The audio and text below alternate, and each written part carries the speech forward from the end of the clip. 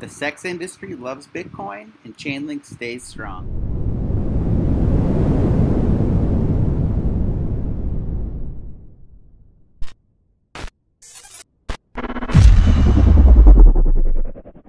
What's going on guys? Randy here with another daily crypto video. Today we're going to cover how the sex industry loves their Bitcoin and how they use it. And Chainlink is staying strong despite the big drop in Bitcoin prices and Ethereum prices over the past day. So let's get right into the content here. Uh, we'll start out with this article from CoinDesk, why the sex industry exec why this sex industry executive loves Bitcoin. So all right, so Chaturbate COO Shirley Lara, one of the most experienced platform executives in the adult content industry, has been keen on Bitcoin's potential since 2018. We accept 20 different cryptocurrencies for token purchases. The most popular ones are Bitcoin, Ethereum, and Litecoin, Lara said. Experts, including Lara, estimate there are thousands and thousands of cam girls working across platforms like OnlyFans and Chaturbate at any given time. That dwarfs the incumbent porn industry. Today, OnlyFans alone is estimated to have over 60,000 content creators creator accounts and millions of registered viewers, despite some criticism from sex workers on Twitter. So, of course, this is great news for, for Bitcoin uh, and for all cryptocurrencies in general. Uh, such a massive market, and I mean, there's many advantages for sex workers to accept cryptocurrency as well, as opposed to um, you know, obviously, obviously they can't really fiat if you're talking online stuff like OnlyFans or Chaturbate, but um, you know, as opposed to someone paying in credit cards or debit cards. All right, so many of the leading sex industry corporations like OnlyFans, Chaturbate, and MindGeek appear to be owned by relatively secretive men who are far removed from the public performers. Lara, who joined Chaturbate in 2011, is one of the rare examples of a woman who worked her way up to the executive level without first creating a personal porn star brand. Her work is primarily technical and operational. I don't think crypto is a trend. I think it's definitely here to stay, Lara said, noting the steady incline of Bitcoin usage among performers in Colombia and Romania. They'll use cryptocurrency as a way to jump on Chaturbate and get started while they figure out the banking stuff. Meanwhile, her global operations allow performers like Honey Lee in Europe to stack sats through Chaturbate. Lee said a little bit of her earnings, in addition to whatever she needs to pay the bills, is set aside as Bitcoin savings for Lara. Or for Lara, having the choice was crucial to the platform's crypto integrations. You asked if we hold on to Bitcoin. We don't. We cash out. But our broadcasters do. And I think that is so smart, Lara said. With porn production stalled or canceled in hubs like Miami, Las Vegas, and LA, the entire sex industry is shifting ge geographies. More performers are relying on social media to broadcast from home. Bitcoin may now offer a different use case of platform performers versus high end escorts. For example, the sex industry is hardly a monolith. A monolith.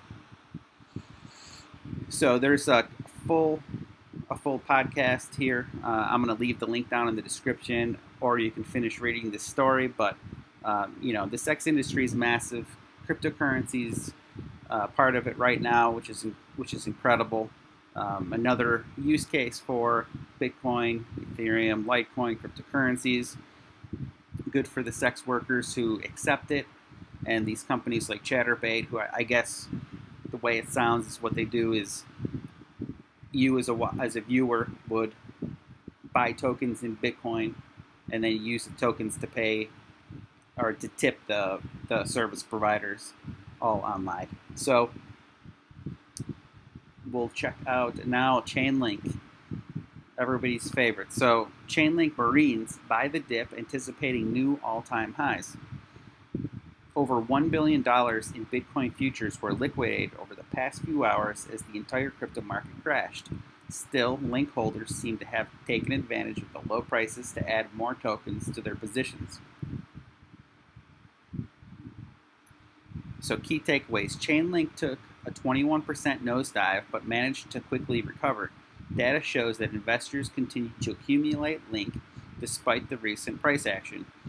If the buying pressure continues increasing, the decentralized Oracles token may rise towards $11.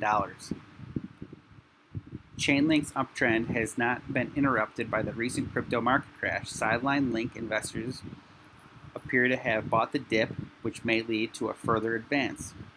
Link investors buy the dip. So the past 10 hours have been dramatic for Link holders. The cryptocurrency rose to a high of $8.50 on August 1st, but a few hours after the daily close, the crypto market crashed, taking Chainlink down with it. The decentralized Oracles token took a 21% nosedive within 30 minutes, dropping to a low of $6.60, which, if you were able to scoop some up at that price, good for you. Probably not going to see a six uh, a, a, sub, you know, up like a six dollar some uh, link in, in uh, quite some time from now. So, if you can get it, go get it.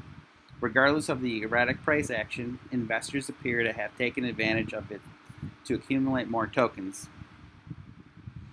Uh, sentiment holders distribution chart shows that as prices drop, the buying pressure behind Chainlink surged substantially. The behavioral analytics firm registered a spike in the number of addresses holding between 1,000 and 10 million Link. As sideline investors entered the market, prices were able to recover quickly. Consequently, Link rebound rebounded, soaring over 33% to make a higher high of $8.80. Uh, you know, Chainlink is just, uh, it's, it's crazy. I mean, the whole market could, could crash, and Chainlink, you know, is is going to still do what Chainlink does, which is uh, have investors just jump in there and snatch it up. Everybody knows um, just how good and how important Chainlink is to the ecosystem. So when looking at Link's one-day chart, it seems like its price bounced off the x-axis of a descending triangle. This technical formation is part of a bull flag that has been developing within the time frame since early July. Although the new levels of volatility around Chainlink could have flushed out weak hands, it might be preparing to continue its uptrend. A further spike in demand for the altcoin may see it rise towards $11. So even right now, if the, if the price is 850 and you're bullish that it'll go to 11, you're going to make gains. So people that think they may have missed this Chainlink boat, you have not, especially at the peak of the bull run. I mean, who knows what, what the, the price will get up to, but it's going to be way higher than $8 or $11, I can tell you that. This target is determined by measuring the height of the flagpole and adding it to the breakout point. All right, so I'm going to leave a link down in the description for this article Crypto Briefing about Chainlink Marines buying the dip. Did you guys buy the dip? Were you able to get in there and scoop some up? Also, if you guys use Chaturbate and you're willing to uh, talk about it in the link or in, in the description, in the comments down below, uh, let me know how. Let me know if you guys use cryptocurrencies to access OnlyFans or Chaturbate or one of these other sites. One more thing before I let you go: if you guys have not used the Brave browser yet, make sure you go ahead and download it. It's just like Google Chrome, except it it blocks trackers and ads, which allows you to have a quicker computer uh, and quicker loading times as you can see by the time saved here for me, 3.8 hours over the past few months. In just this month alone, or the month of July, I've earned 15.825 basic attention tokens, which equals $3.89. This is just for my laptop. I earn about the same amount on my on my mobile phone as well. When BAT gets to its all-time high, this you know of close to a dollar, this 15.825 BAT will be worth almost $15 just for using the internet the way I normally would. And by clicking ads like this one to the left, BlockFi, when you click it, I'll get paid in basic attention token through the Brave browser. Link down in the description. I'll see you tomorrow.